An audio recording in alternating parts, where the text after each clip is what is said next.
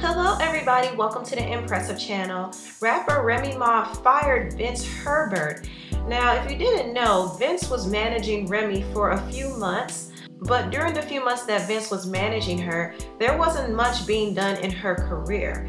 And this is what TMZ reported. Sources tell us Remy fired her recently hired manager Vince Herbert when she felt that he was spending more time repairing his relationship with Tamar than furthering Remy's career. We're told he came up short on promises of being quote unquote a super manager. We're told Remy's complaints include Vince dropping the ball on basic manager duties like booking studio time and scheduling performances. On the other hand, Remy wanted no part of Vince's family drama. According to Remy, Vince was focusing more on his family drama than he was on Remy's career. Now, if you don't know, Vince is married to Tamar Braxton, and there was a lot of drama going on last year. They were going through a divorce. Tamar said that Vince allegedly cheated on her and had a baby outside of the marriage. They had a fight in their household that the police had to come and arrest Vince.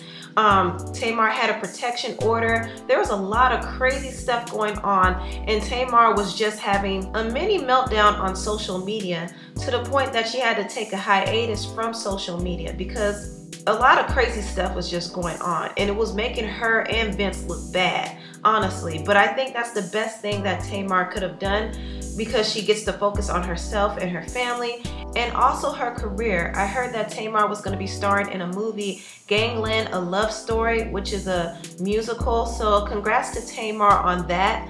I don't know if Vince is still Tamar's manager or not. Who knows? Um, I do know that Xscape may have dropped Vince and they did it quietly. And now Remy Ma is firing Vince. So it's kind of a telltale sign that maybe Vince is not the manager that we think he is or that Remy thought he was because her career has not been able to really progress. She hasn't even been getting studio time or booking any performances and that's like a basic managerial duty. So I hope Vince gets it together and I wish him and Tamar luck.